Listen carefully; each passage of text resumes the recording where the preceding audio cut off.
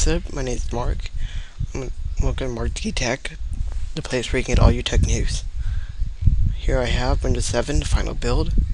I'm going to show you a review of it from its previewing to its new toolbar. Windows 7 has its new toolbar double the width of its previous Vista or and it also has this nice feature where you can open up multiple windows at one time. That's not, not the main feature. And say you want to just do Word or Notepad, you shake the way, shake you shake your program, and all your programs disappear. You can also shake them back in like this. Bam. That's how nice it is. You can also have you can hook up to your Wi-Fi network real quick. As simple as clicking on the Wi-Fi icon and you can see all your available Wi-Fi networks. You connect I'm connected to Mark D. Okay. You, in games there is one big change.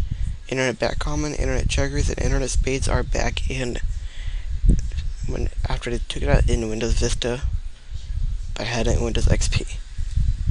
But they took out Pen, which was a good game in Windows Vista. Windows 7 is much faster to load than Windows Vista and Windows XP.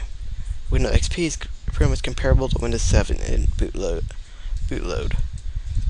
And you have Windows 7 launching in October 22 not also good feature to have in Windows Windows 7 is this feature where you can drag it to the corner of the program.